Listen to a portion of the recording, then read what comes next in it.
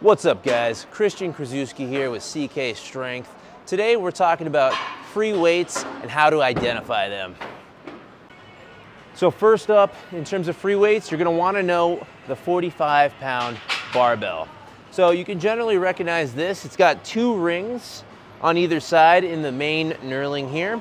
And as you can see, the center knurling is quite small, about the size of your hand.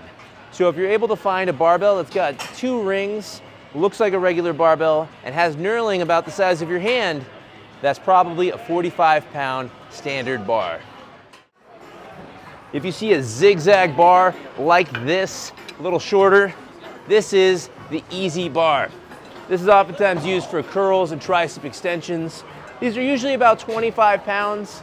These can vary gym to gym. Just write down 25 pounds so you can keep track of your workouts. And if you see one of these bars with handles that are held at your sides, this is a trap bar. You're gonna use this for deadlifts and it is great for beginners and especially if you're worried about your back.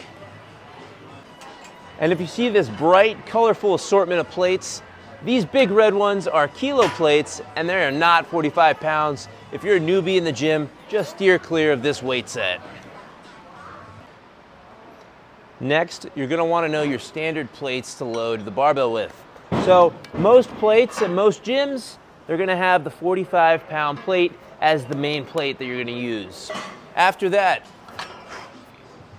after that, you've got the 25 pound plate as the most common next biggest jump. Most gyms usually have a pair of 10s, they've got fives, and the smallest plate you can usually load is a two and a half pound plate. I call these chips. Other common free weight implements include dumbbells and kettlebells. Dumbbells are great because you can hold one in each hand and do all sorts of upper and lower body exercises. Kettlebells are oftentimes held two hands. You can do all sorts of exercises like deadlifts, goblet squats, and kettlebell swings. And this is a medicine ball. This one's made of rubber that's meant to be picked up and slammed into the floor. This one's made to not break or bounce up and hit you in the face. Make sure it's not an actual rubber ball.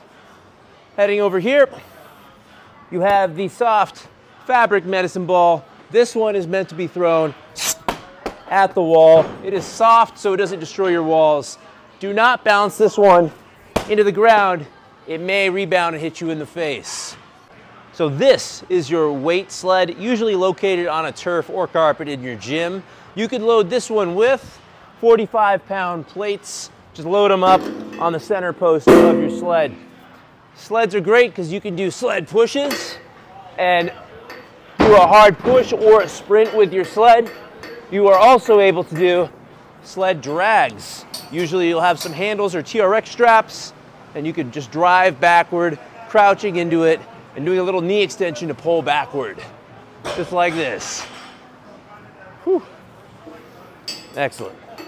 If you found this video useful, be sure to click the like button and don't forget to subscribe, click the bell for notifications. And remember, if you want to make progress, then you've got to make progress. CK Strength, I'll see you guys later.